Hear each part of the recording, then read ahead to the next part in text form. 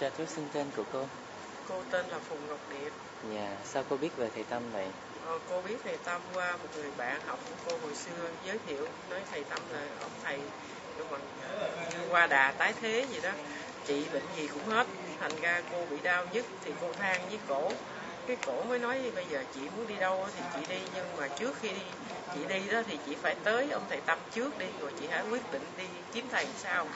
Thành ra cô nghe lời bạn cô thì cô đi tới ông thầy Tâm. Lúc đó ông thầy Tâm ở Florida thì cô đi, lúc đó cô chân cô đau lắm, cô đi bước gần như không nổi. Nhưng mà khi cô đi tới ông thầy à, cô chăm cứu được ba lần thì cô thấy cô nhẹ nhàng, cô đi như thường thì cô mừng quá cô thấy là ông thầy trị bệnh rất là giỏi. Cô về thì cô cũng hay khoe với bạn bè cô là ông thầy tâm rất là xuất sắc. Không có ông thầy chăm cứu nào bằng ông thầy tâm đâu. Muốn đi thì muốn hết bệnh muốn khỏe thì tìm ông thầy tâm mà đi. Đó là cô, cô quen được ông thầy thì sau đó ông thầy thì sau hai ba tháng sau thì cô lại thấy cô hơi mệt. Và lại thì cô ờ, đi ngọn Carolina gặp ông thầy. Rồi sau đó nữa thì nghe ông thầy về New Orleans thì cô cũng tới. Và bây giờ thì cô tới đây là lần thứ tư mà để cô vừa hơi mệt thì cô gặp ông thầy thì cô khỏe lại như thường. Dạ. cô không bị đau nhức nữa mà cô đi cô làm việc cũng rất là tốt.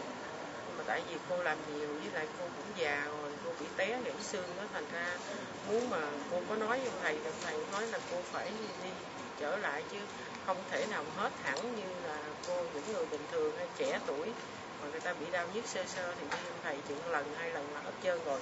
Dạ. đó là vậy. Dạ. Ngoài chăm cứu ra, cháu biết là thầy có cho cô uống thuốc nữa, cô nhớ cô có thuốc gì? của ông thầy thì rất là hay. Cô uống vô thì cũng thấy cô khỏe. Nhưng mà có một cái hay nữa là mới đây cô khám phá là lúc trước cô hay bị ngứa giống như nổi mề đai lên trên Dạ. người. Thì cô đi bác sĩ Mỹ thì ổng cho cô uống thuốc gì cái hiệu gì cô quên mất rồi. Nhưng mà uống vô thì cũng hết sau cô thấy cô nóng trong người quá thì mấy hôm nay thì cô lại bị bệnh cũ tái phát thì cô lấy cái thanh độc hoạt của ông thầy với ờ, thuốc đau nhức cô uống cho đều hơn. Vì có khi cô cũng uống đều lắm. Thì cô thấy mỗi lần cô bị ờ, ngứa lên vậy thì cô uống chừng khoảng chừng một hai tiếng là cô hết. Cô còn bị ngứa nữa. Đó là như vậy thì cô thấy là cô rất là cảm ơn ông thầy đã giúp đỡ cho cô hết bệnh mà cô rất mừng là cô gặp được à, danh y để mỗi khi mà mình đau yếu gì mình tìm tới ông thầy thì mình sẽ thấy mình nhẹ nhàng thanh thản. Còn nếu mà mình đi bác sĩ khác thì đôi khi uống thuốc vô thì cũng có bớt nhưng mà nó lại khó chịu trong người lắm. Uống thuốc của ông thầy tâm thì không có bị gì hết. Khỏe.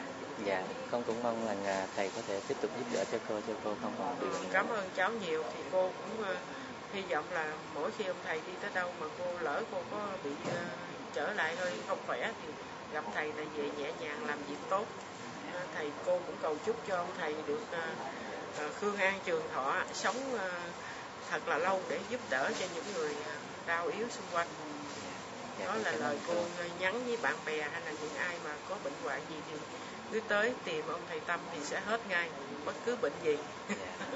Cảm ơn cô rất nhiều.